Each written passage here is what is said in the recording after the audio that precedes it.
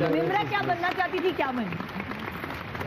Sports girl बनना चाहती थी मैं आई यूज़ टू अच्छा। प्ले स्क्वाश अच्छा।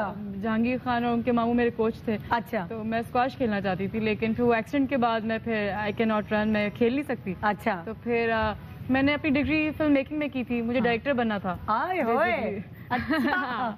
लेकिन फिर वो अबू ने कहा कि इस इंडस्ट्री में जाओ तो पहले देखो तो कि किस किस्म का काम हो रहा है कैसे हाँ। लोग तुम सीखो एटलीस्ट हाँ प्रैक्टिकली प्रैक्टिकली सीखो। हाँ। और देखो इन्वायरमेंट क्या है। तो मैंने जब देखा जाके तो पहले तो कुछ समझ ही नहीं आ रही थी कि ये हो क्या रहा है। मैं तो बिल्कुल भी ऐसा नहीं सीखा। हाँ। ये तो बिल्कुल ही ऑपोजिट है उसके।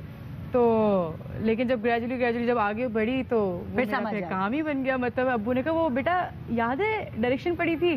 मैंने कहा अब अब आप याद रखें मुझे तो कुछ याद नहीं मैं एक्टिंग ही सही है। बस Subscribe and press the bell icon to watch the latest dramas.